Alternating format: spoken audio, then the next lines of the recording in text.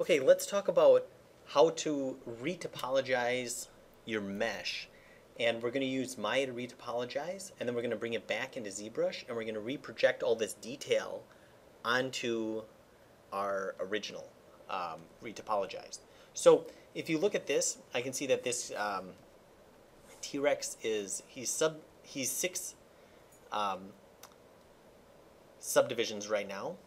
And if I bring it all the way down to uh, level one, if I look at his poly, um, this is just an original, or just this is just kind of um, a Z remesh that I did, just to get something kind of going. Um, so the topology isn't like terrible, but I feel like if we look at his neck, I can see that it kind of like buckles here. Um, there's some weird things that I just want to kind of control better. I want, you know, better kind of rings around the neck, um, and so on and so forth. So I feel like the ZRemesher is a good way to start, but let's say you're not happy with that. Now what's next?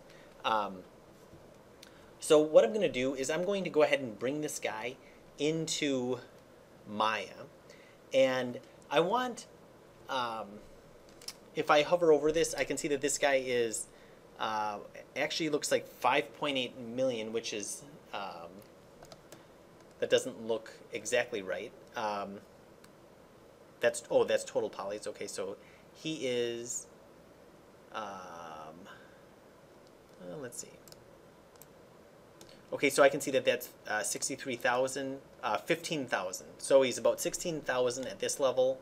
Um, two, 255,000 at this level. And um, so I could even afford probably bringing him in this level here into Maya. Um, Maya's, Maya will be fine, probably up to 500,000 even in Maya or even more. Um, what I suggest is if you bring it in and it slows down, then um, come back here and make it smaller. And another trick that you can do is you can go into Z plugin and you can decimate it. Okay, and I'll do a different video about decimation, but decimating it is another way to make it smaller but yet maintain detail. Okay, because really the only thing we need is something to trace. So I'm going to go ahead and um, I'll even bring in this level and I'm going to say export and I'm going to just save this as obj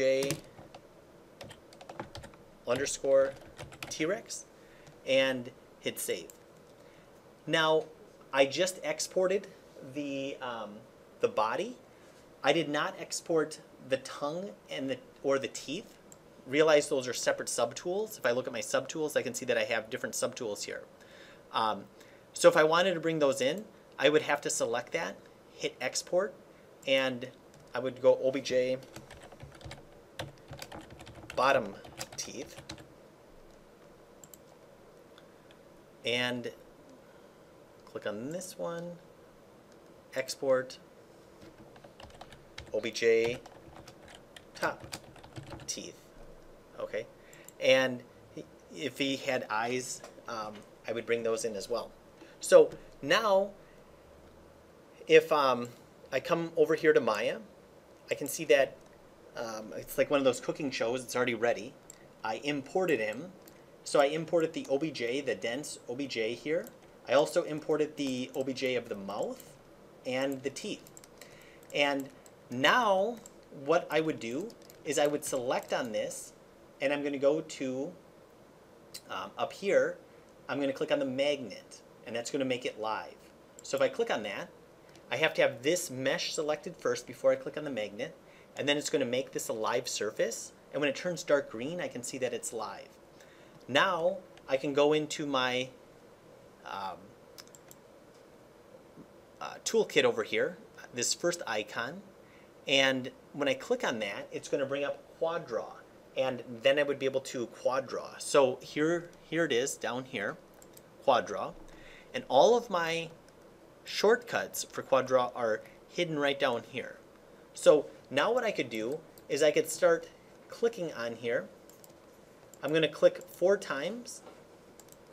And then if I hold down shift in between and click, it's going to create a polygon. And if I do another time, hold down shift, hold down shift, And you can see that now I only need to do two because it's going to connect to the previous two. Okay. And if I need to insert a line, I'm going to hold down control and that's going to insert. If I need to move an edge, I can grab an edge or a point and move it. If I uh, hold down tab, I can bring this out. Whoop. And that's going to work better. Let's say if I kind of started coming down here.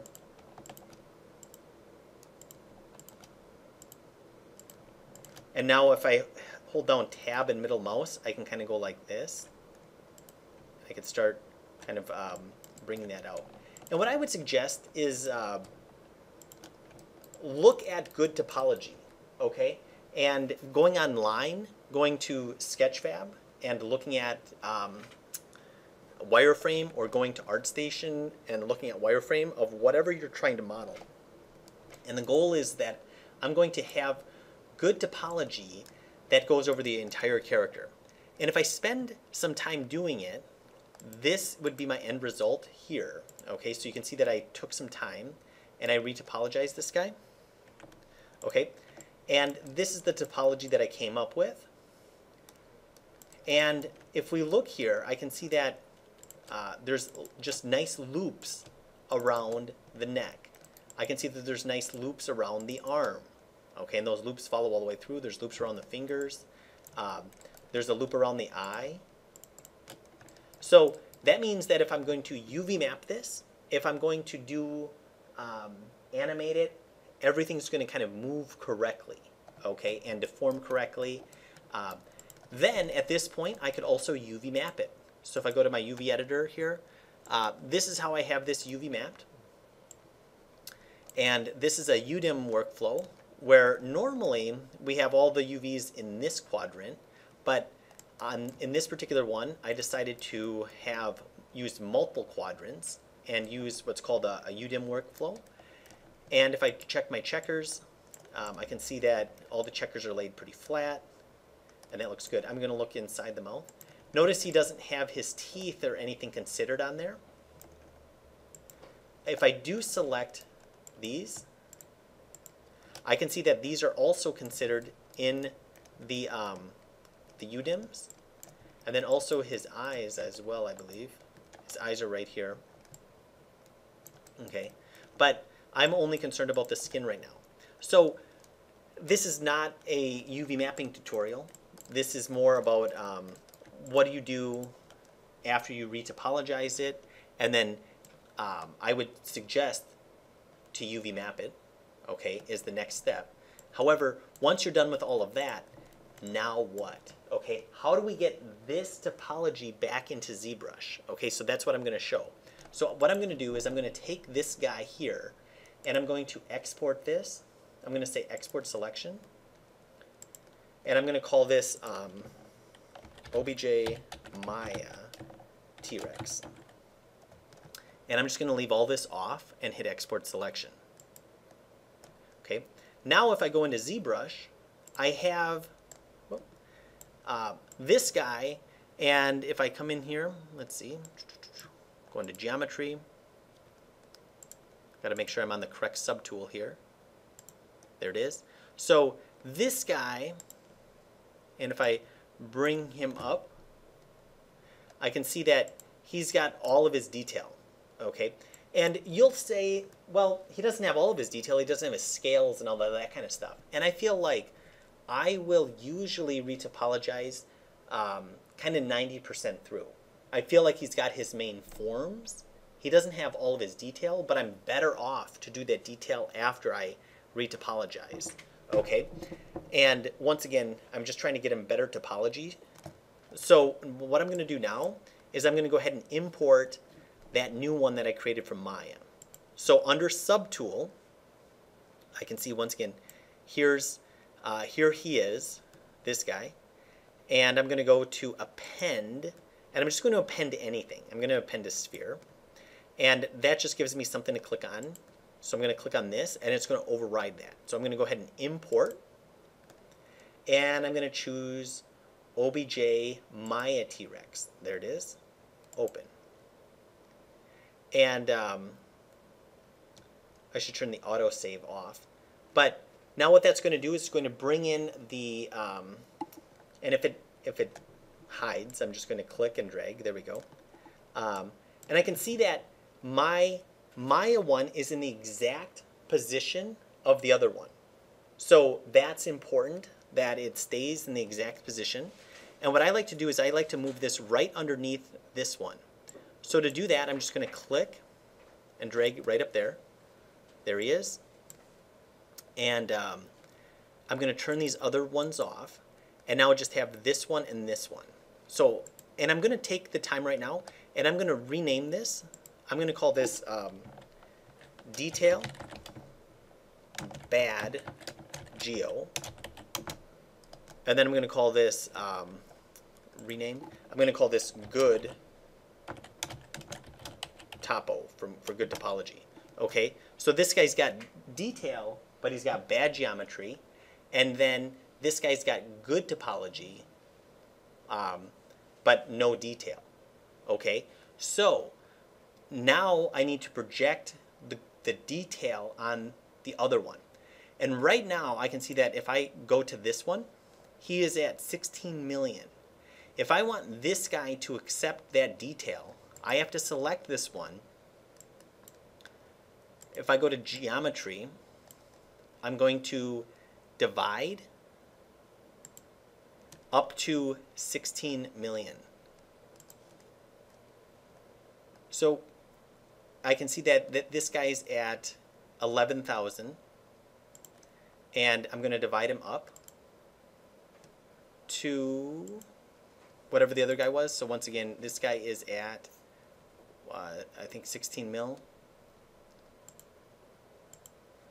And it doesn't have to be exact. I mean, just roughly, okay, 3, 3 mil, uh, 11.99. That, that's probably pretty good. Okay, so I'm thinking about, I kind of think about the my mesh now shrink wrapping to the other detail. Okay, so that's kind of the idea. And I need enough density to be able to shrink wrap to the other one. That's how I think about it. So once again, if it disappears, just kind of move it or press F to frame up on it. Now, if I go into Subtool, I have my bad one yet with good detail, my bad geo is visible. I have my good topology selected. Now I'm going to come down here to project. And I'm going to hit project all. And up here it's going to show me the progress. And I want to be careful that I don't click. I'm just going to let it think. And at the end of this process, the um, the detail should be transferred to the other one. So I'll just go ahead and pause the video. Okay, so after um, a few minutes, it projected, and I can see that it now fits the other model.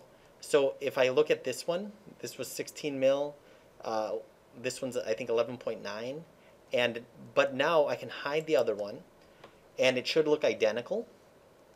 So now if I come down here to geometry, if I bring this down to level 1, and if I turn on the poly F, I can see that it has, I'm just going to turn off the fill, it, this is the identical geometry that I had in um, Maya, but if I bring my subdivisions up, now it has the detail that I had in ZBrush.